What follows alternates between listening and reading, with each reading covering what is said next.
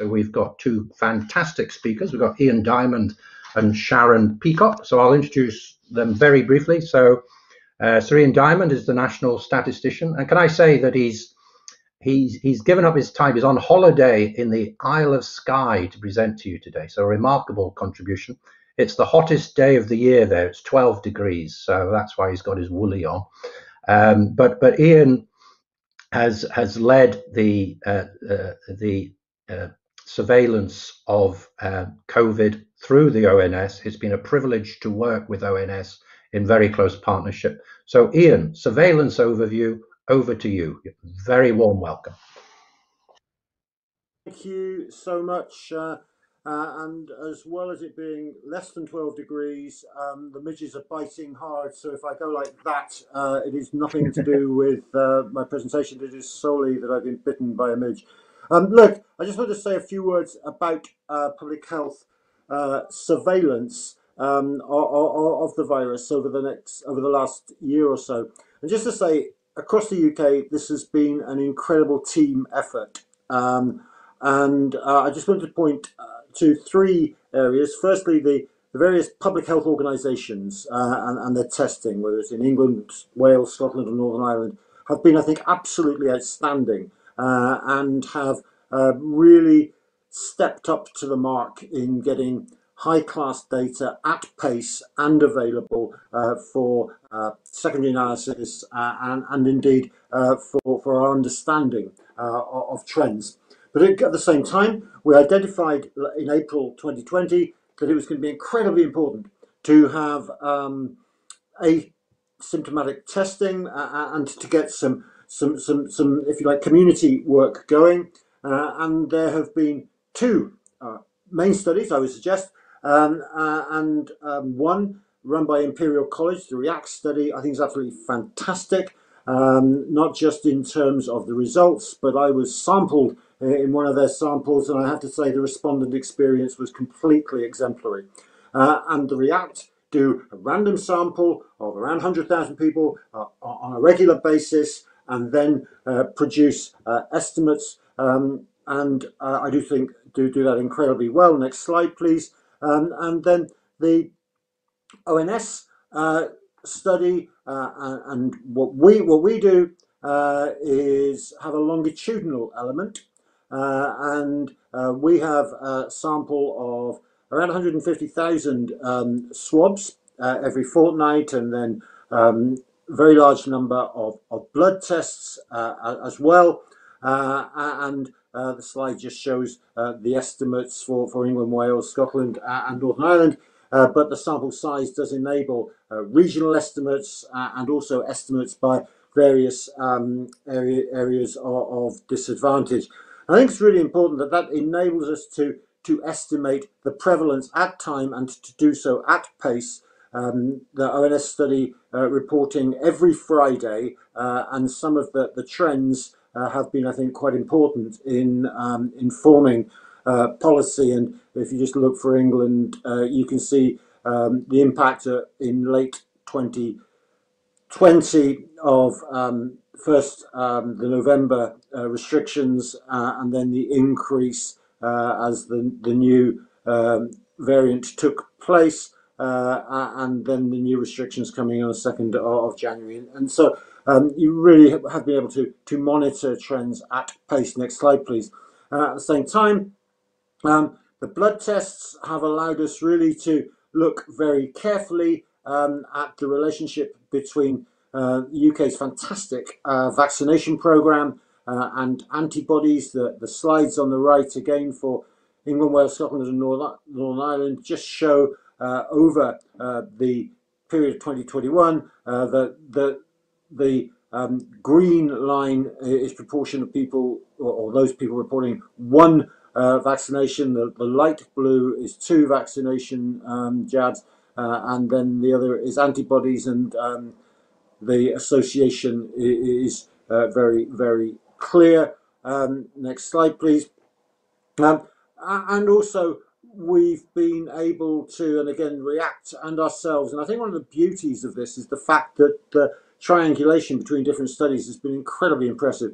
And what we have been able to do is to show uh, the impact uh, dependent on various um, uh, combinations of either different vaccines or numbers of um, whether you have the first dose or the second dose uh, relative uh, to um, not having vaccine uh, of of the probability of um, catching uh, the virus and what you see is a remarkable reduction and therefore being able to test the success uh, of uh, the vaccine uh, really in the community. And I think that's been important. I mean, vaccines brilliantly uh, put together in labs, but actually being able to test them in the community as well, incredibly important. Next slide, please.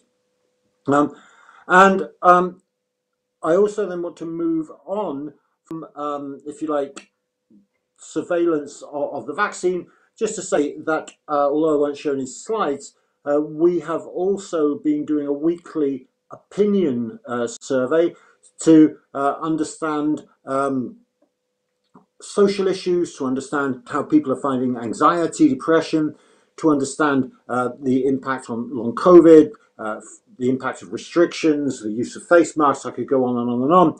Uh, and that is a survey uh, which goes out on a Wednesday every Monday. It stops at 4 a.m. We publish at midday, uh, and um, it is enabling us at pace to be able to understand how people are thinking uh, about uh, the various impacts that they have.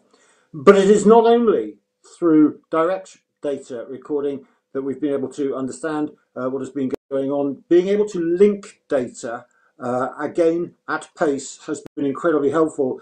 So if we are interested in looking at inequalities, uh, we've been able to do that, uh, for example, uh, through linking um, the data on vaccines with census data, and that's enabled us to show, for example, in this slide, uh, that there is greater vaccine hesitancy amongst some people uh, of various uh, ethnic groups as opposed to others.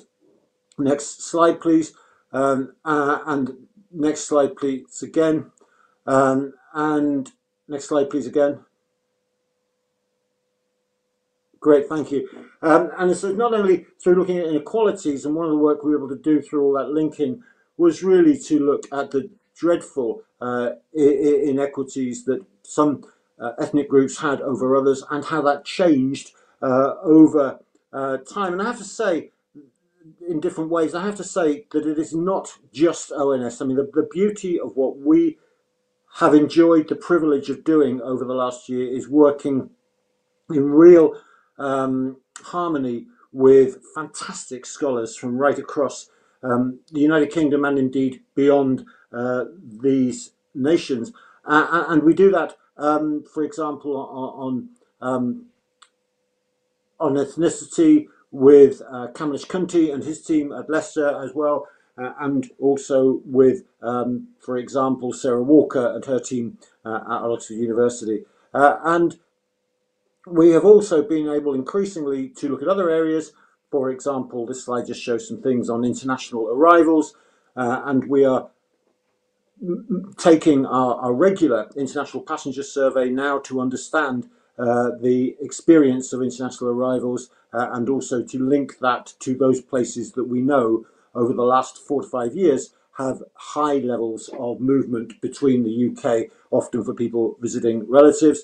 Higher education has been an important area to look at in uh, the UK. Uh, big outbreaks last October uh, and we have done a lot of work both looking at behavioural aspects amongst students in higher education, uh, as well as being able to monitor uh, trends.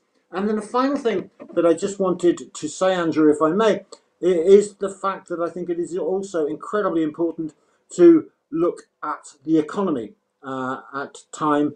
Uh, and one of the things that National Statistics Institutes do quite well is to look at how the economy has been going uh, and what we've been able to do in the UK uh, over this period is really to pivot to be able to do things at great pace using novel uh, and radical data sources, for example, uh, web scraping on vacancy data to find out almost in real time uh, how vacancies are going, or using um, or, or using um, Google data in order to understand movement and mobility uh, during restrictions, or, or using uh, financial transaction data to understand spending of the consumer and how that is changing over time.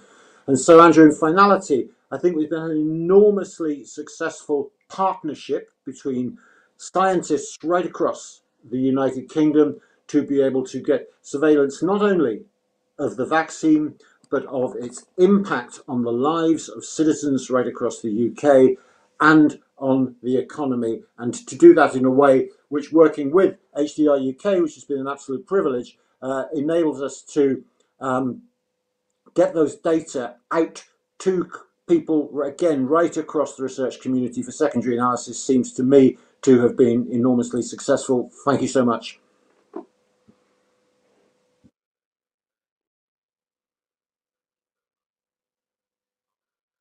Um, who is the um, director of the Genomics UK Consortium uh, and professor of public health and microbiology at Cambridge. Sharon, thank you for everything you've been doing the, during the pandemic. And you're going to tell us about 561,000 viral genomes. So, welcome. Thank you very much. I won't be doing it one at a time, so it won't take too long. Uh, first thing to say, Ian, um, it's 16 degrees and sunny in Cambridge, so I'm sorry to tell you that, but I suspect that the view out of your window is probably better than mine. Um, uh, the second thing I would reiterate is really how incredible the team science has been in the UK over the last 18 months or so. I'd just like to echo what Ian has said. It's been a real privilege to be part of that. And I very much hope that um, uh, going forward, that that kind of unity across the scientific community, across different disciplines, continues uh, to, to, strengthen uh, further. And I think meetings like this actually help that. So thank you to HDR UK for organising this important meeting. I'm going to be talking today about how we can improve health through enhanced data linkage to our UK SARS-CoV-2 genomes. Next slide, please. Now, genome sequencing the virus really has become a vital part of our pandemic response. And we need to provide actionable, actionable information. Um, and I've listed some of the things that we use that information for. So we need to reveal the patterns of viral introduction, for example, into the UK, and then onward transmission through community spread and hospital spread. We need to detect when variants of concern and, and variants of interest actually emerge. And then we need to map them to look at the distribution of variants. And that strongly informs policy and interventions. But we also need to monitor the effectiveness of vaccines um, and other interventions. We've seen that particularly recently with the Delta variant. And we need to use the genome data to then go back and develop new diagnostics, vaccines, and therapeutics that actually keep pace with the, the speed of viral evolution. Next slide, please. So, the generation of genomes in the UK has been made possible by the creation of the COVID 19 Genomics UK Consortium, which was built from scratch uh, and was an idea generated in March 2020 when there were less than 100 diagnosed cases of COVID 19 uh, in the UK. And so we started in April 2020. We established a distributed model of sequencing by bringing together 16 academic institutions across the country, uh, the Wellcome Sanger Institute, and the four public health agencies of the UK. The four nation working was extremely important um, uh, to our principles. And we then networked that with more than 100 NHS diagnostic labs based in hospitals, and together with the high throughput Lighthouse labs that were doing the community testing. So that's um, that's a, a quite a, a, challenge, and the necessary administrative and ethical frameworks were really developed by a team in Cambridge, where the logistics and ops teams are also based. So we had very generous access to the UK cloud infrastructure for microbial bioinformatics. It's a bit of a mouthful, but we call that CLIMB, to house a custom data management system. And I think that this was one of the key uh, elements to our rapid success when we first got going. Next slide, please. now, COG UK has four main objectives, which you can see on the left in the circle. When we started, our first uh, and foremost aim was to generate data for public health agencies so that they could uh, take action on the basis of th their findings. But we're primarily a research network and have undertaken really extensive research and development to improve sequencing efficiency and cost We've developed tools that help to quickly analyse genome data in an automated way. And we've also undertaken uh, basic research on viral evolution and transmission. Our other aims are to become increasingly integrated across the UK science ecosystem. I'll talk about that in a, a bit more in, in a moment. And we're also supporting international sequencing efforts. So we have now generated over half a million SARS-CoV-2 genomes. That's around 10% of diagnosed cases in the UK overall since the start of the pandemic. And the sequencing capacity is divided into three different categories. Uh, the largest category is random community and hospital surveillance. So we have a, a good idea of what's emerging and what's uh, being spread in the community. But we also use our sequencing to target uh, public health actions, and we also support several key national studies. So our data has revealed patterns of viral introductions into the UK since the start of the pandemic. That's been very important to our UK border force. They've been used to investigate transmission and outbreaks in places such as care homes, prisons, universities, and workplaces. And genome data are actually used daily to enhance contact tracing and surge testing. And we also sequence the virus in people infected for a second time or after vaccination to look for variants associated with immune escape. So COG data was used to detect the alpha variant in the UK, and sequencing has since been used to detect many other variants of concern and interest, including the Delta variant. Now, we provide sequencing to uh, several national studies, including uh, the ONS study and REACT, and we're very fortunate to be able to uh, uh, support colleagues uh, through genome sequencing. It's been a pleasure to do that. Just to note that all genome data are released into global public databases for other people to use, um, and so they can be used all over again. Next slide, please. So our first 18 months have really been focused on generating genomes for public health action and analyses, but looking ahead, we're now refocusing our efforts in new areas. This includes the development of COG International, uh, which will develop online courses, uh, train the trainer courses, and virtual classrooms in SARS CoV 2 sequencing, passing on the knowledge that we've gained in the last 18 month, month. But what I want to focus on here is our work to facilitate data linkage across the science ecosystem, which is being kick-started using seed funding from our original COG grant, but we hope will be followed by further funding. Next slide, please. So at the moment, we already link sequence data with sample data, which is uploaded into the, uh, the, the CLIMB cloud infrastructure. It then becomes linked to NHS numbers by Public Health England. But we're now in the process of migrating these data sets through into UK trusted research environments, where we're going to link this to detailed demographic data, electronic health records, and host genetic information. Next slide, please. So, by combining viral mutations with host genomes, uh, immune status, physiological measurements such as uh, blood pressure and so on, treatment of patients and comorbidities, what we aim to do is discover new information on the determinants of COVID 19 susceptibility and outcome from infection.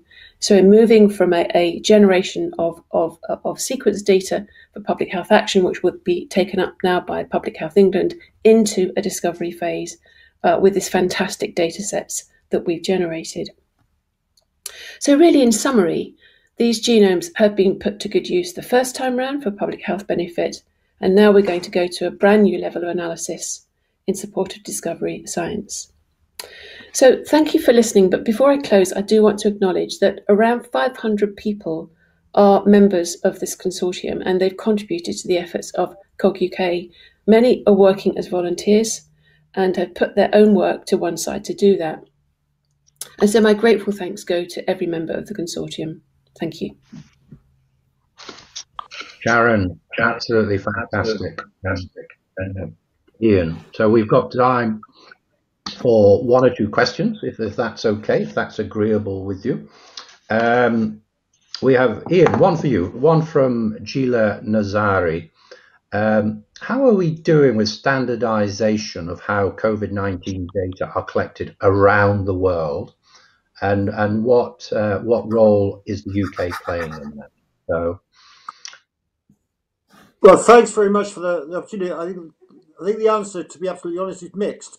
Uh, I think WHO did a fantastic job uh, right at the beginning so that we have standard definitions um, uh, that are available around, for example, COVID mortality, although different places are, are reporting them uh, sometimes in different ways. I think that there hasn't been, in my view, enough uh, work um, on standardization across questions like uh, vaccine efficacy. Uh, I don't think there's been quite enough work uh, around uh, standardization of work around prevalence, and I do think there should be more studies like those of the REACT and, in, and ONS in the UK, which really enable us to understand the asymptomatic uh, position. So uh, I think there's been some great things, and I think we should. A big shout out for WHO for their speed last year in, in, in, in pushing things forward. But I think there's an enormous amount more for us to do, and I do think there is an enormous opportunity for sharing data internationally uh, in a way which will enable us better to understand the epidemiology of this awful disease. Right. Okay. Um, and I've now got a question for you, Sharon, from Robert Terry. Um, uh, so, so, Robert says that you know genome, sharing of genomic sequence data is probably the most advanced and a gold standard. However, at the same time, colleagues in low middle income countries feel that perhaps it's uh, uh, free trade rather than fair trade, and there's um, inequity in terms of the, the, the benefits which are derived from data sharing. So Robert's asking how how as this is a global challenge, how do we address those inequalities? Tricky question. yeah. I, in, in, many ways, uh, well, thank you, Robert, for that really vital question. Actually, it's one of the most important questions for me today, and in many ways, it's not tricky uh, because I think that that sharing uh, capabilities for sequencing starts with with training and being able to help people to uh, um, undertake sequencing in their own country. One of the reasons that COG UK have now developed into a, a separate arm of COG International is because we do want to get free online courses to people that can explain how to do sequencing and why it's necessary.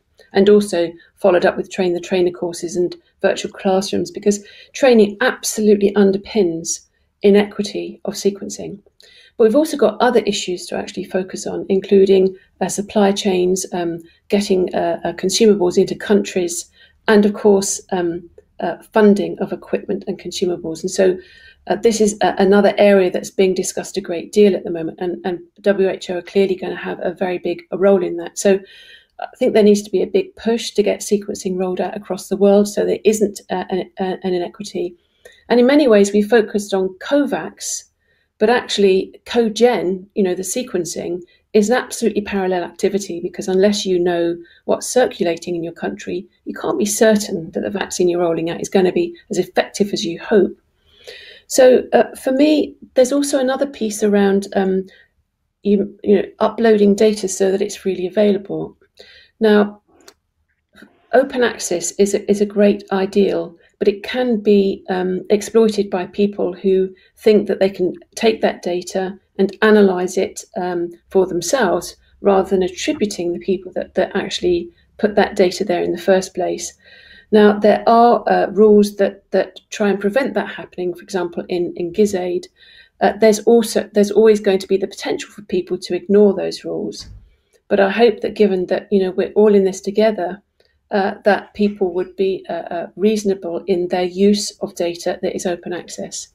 So I think to summarise, it's beholden on everybody who's got expertise in sequencing, uh, in uh, informatics analysis, and so on, to support the people that, that don't, so that we can actually start to get kind of more of a level playing field um, in this area. Thanks. Okay, no, great. Um,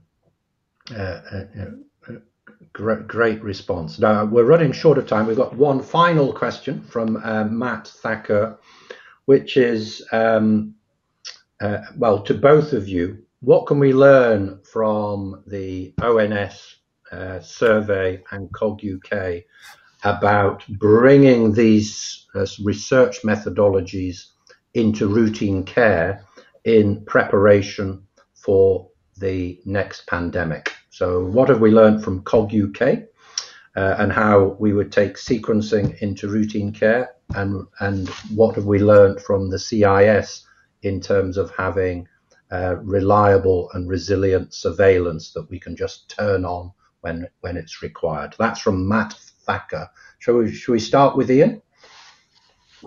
Well, thanks very much, uh, Matt, for that question. And I have to say, um, what I think we have learned is the real importance of having an infrastructure to uh, be able to step up at real pace um, the analyses that are needed. I mean, we took the CIS from a, if you like, phone call of this is what's needed to being in the field with all the ethics and all everything else in one week. And I think that really shows what can be done, but it could have been done even faster if we'd had that infrastructure over time. And I do think uh, what we've learned is that it is not just the simple question, in this case, the simple but incredibly important question of what is the prevalence that you get from having that long-term system. Uh, it is also your questions, for example, around long COVID, for example, questions around antibodies, for example, questions about the impact of restrictions, the impact on employment. Your big, big questions. And I just think uh, that what we've learned is that there are enormous benefits uh, for a long-term infrastructure which is looking uh, at public health uh, across countries in a longitudinal way uh, and which is joined up uh, across all arms of, of, government, health service, um, public health, uh, and everything. And I just think that also enabling those data very quickly to be available for analysis and to be able to link, to be linked to other uh, data sets very, very quickly, for example, those from hospital records, um, has been incredibly important. And it seems to me uh, that we in the UK have an opportunity uh, to really improve um, our understanding uh, of public health issues and to be ready at pace to respond to all kinds of issues uh, when needed. Thank you. Great, thanks. Sharon, we've probably got 10 seconds, I'm afraid. So one thing okay, like to... I, I, sh I, shall give it a go. Um, uh, the genie's out of the bottle. We're no, not going back to not using sequencing in routine care anymore. We just have to do it. We need to have it close to the patient. And in order to have uh, close sequencing to the patient, we need technological advances in terms of automated data analysis and like a black box solution for people. So you can squirt your sample in at one end and you get an answer that clinicians and other people can understand and, and can put into action at the other. So there's some more work to do, but we're not, we're not going to go backwards. I hope we're only going to move forwards. Fantastic. The genie is out of the bottle. What a great message to end this mm. first session. So can no, I thank, thank Sharon, thank Ian, um, thank Margaret, Maria, and Devi. And now it's time to jump to the parallel sessions. Enjoy. And thank you, everyone, on this fantastic panel.